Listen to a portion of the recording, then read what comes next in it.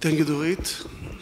Um, first of all, I want to acknowledge the contribution of my partner in this project, Dr. Alon, and especially Professor Assia, and the R&D team of Hanita, especially Yakir and Alex, which are doing a great work. So as Dorit says, everything that you heard till now is probably something that we're implanted in human. We are speaking one step behind, and this is a, a, laboratory result, but I think that the results are so impressive that it is interesting to look at it. We know that PCO is still a problem. Although people are saying that no, uh, you can see the surveys, a survey from Belgium showed 46% of YAG capsulotomy. If you heard the Menapace, Professor Menapace work, he is reporting that if you follow the patient long enough, you will see PCO with every kind of IOL. So PCO is still here. It's the main complication of cataract surgery.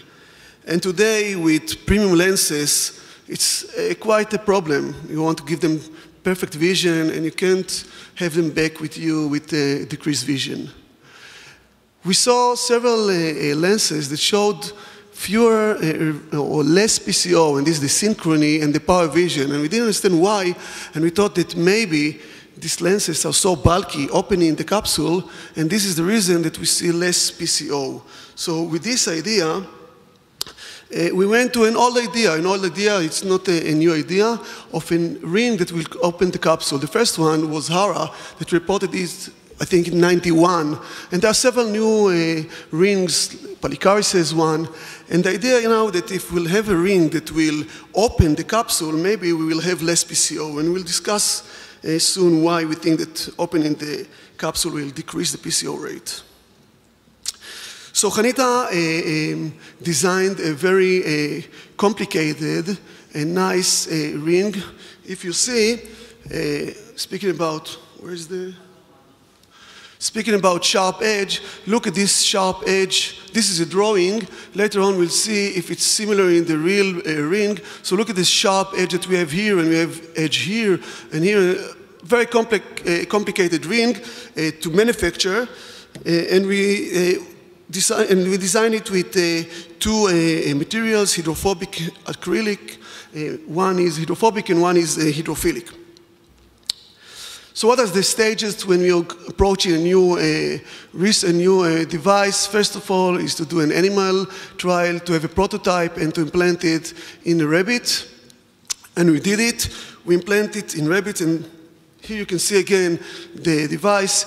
It's used, uh, it was manufactured specifically for the rabbit with a larger diameter, 11 millimeter, with a height of one and a half millimeter, and again, it was hydrophilic and hydrophobic acrylic.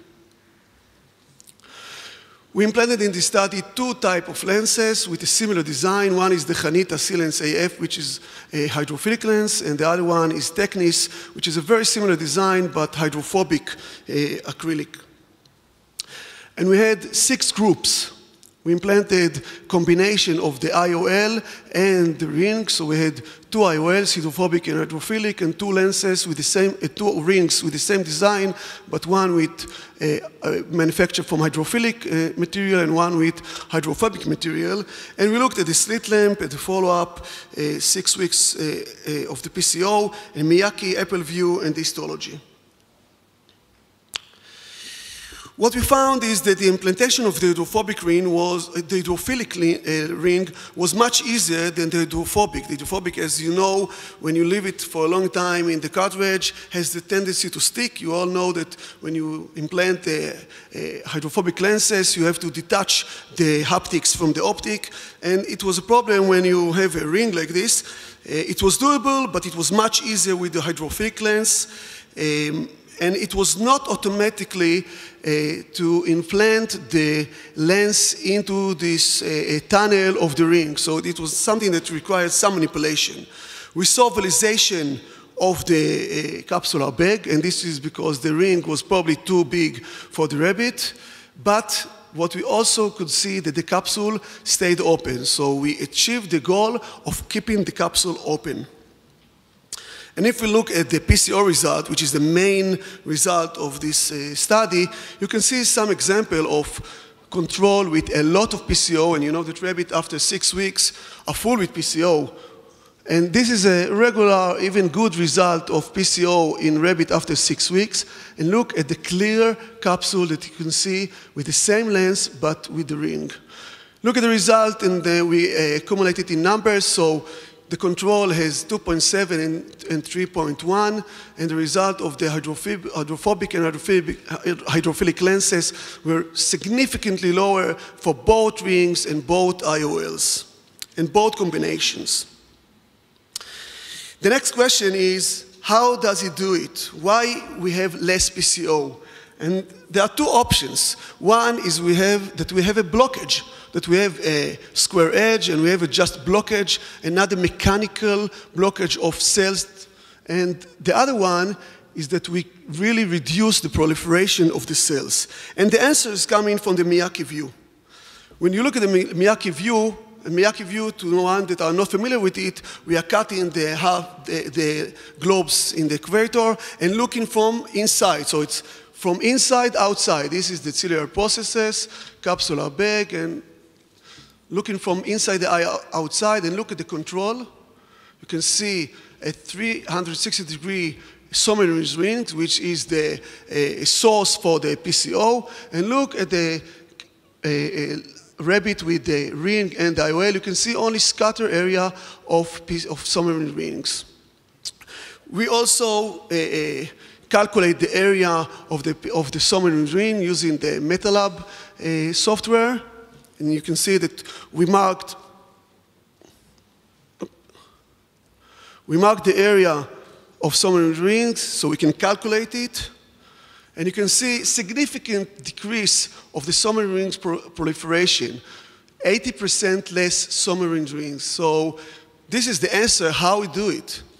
It's not only a blockage, a mechanical blockage, but the cells are not proliferating. And this is probably the mechanism of leaving the capsule open. No one knows how it's doing it. But maybe one of the things that if you leave the capsule open, the cell has maybe no ischemic uh, process, and they are not starting to migrate and proliferate. So you can see here when you do measurement of the area, you can see significantly reduction of the Soemmering ring area. The next step, and we still do not have all the result of the histology, but this is just preliminary and, and samples of the histology result. You can see a control eye to the one that are not familiar with histology, this is the cornea, here is the iris, this is the sclera, and here we have the Soemmering's ring. You can see a really significant Soemmering's ring.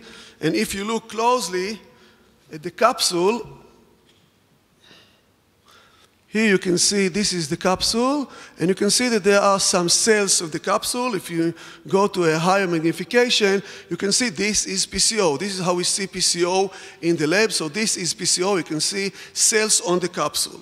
If we go to another example, you can see here this is the iris, this is the pupil, cornea, and this is the capsule. And you can see that the capsule here you have in the center cells which are PCO.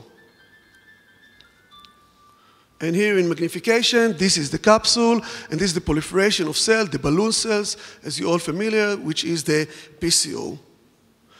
If we look at a non-stained uh, uh, uh, preparat of the eyes, you can see this is the shadow of the lens, and you can see here the device, and I don't know if you can see that it's really exactly similar to what you saw in the drawing, I'll try to emphasize it. And you can see that you have this very sharp edge here at the uh, point that I showed you earlier. And I don't know if you can see it here. Uh, you can see it here after staining. Here, if you can see it here, you have exactly the design that they planned, exactly with the sharp, very sharp edges, even sharper, sharper than you see here. This is a, the computer, you can do it really sharp. It's really sharp exactly in the way that uh, Hanita uh, designed it. You can see here the uh, square uh, capsule that you, that the device pushed the capsule. You can see some cells here, but they are not growing into the capsule, and there are really less cells that you can see in the control. And if you look at the capsule, You can see this is a magnification of the capsule. It's really clear. There are no cells on the capsules. So in conclusion, we have a really encouraging result for prevention of PCO for both rings material. We found uh, no difference between the hydrophobic and the hydrophilic uh, ring, and the hydrophilic ring is much easier, so we think that this is the way to uh, continue. Our results suggested that the primary, that there is a primary PCO prevention. It's not secondary. It's not another blockage. It's not square edge. It's a primary PCO prevention. By leaving capsule open, the cells are not proliferating and not migrating into the uh, uh, visual axis. What are the next step? The next step, we went to cadaver eye and try to adjust it to a, a human eye. So uh, we tried to see if we can have one size fits all concept, which is much easier for all of us. And um, for doing it, we had 10 eyes of five donors, uh, and we implanted several sizes of the uh, ring from 8 to 9.5. And we implanted different IOLs, the SeeLens AF, and this time we used the AcrySof.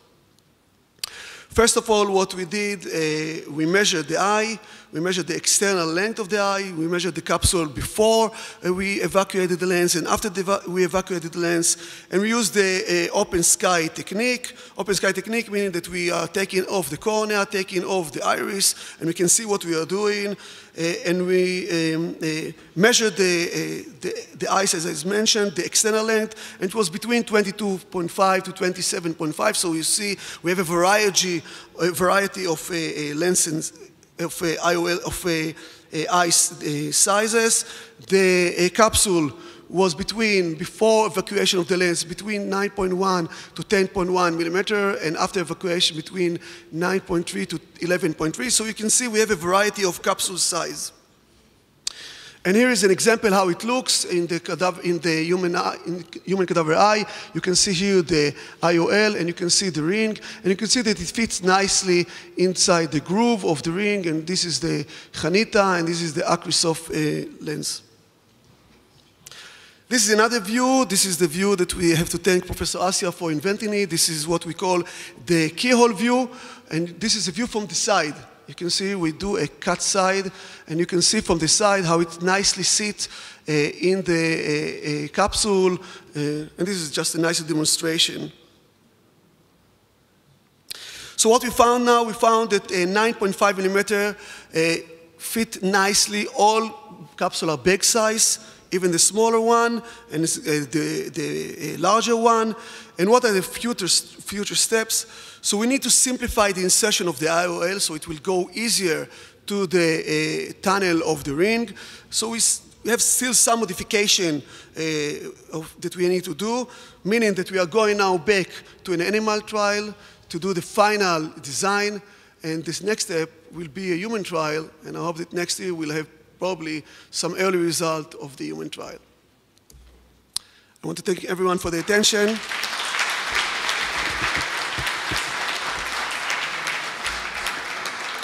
And one more time, I want to thank the R&D staff of Hanita. You can't do this with, we can't do this without them, so I think you want a lot of acknowledgement, Yakir and Alex and Yuval. Thank you very much.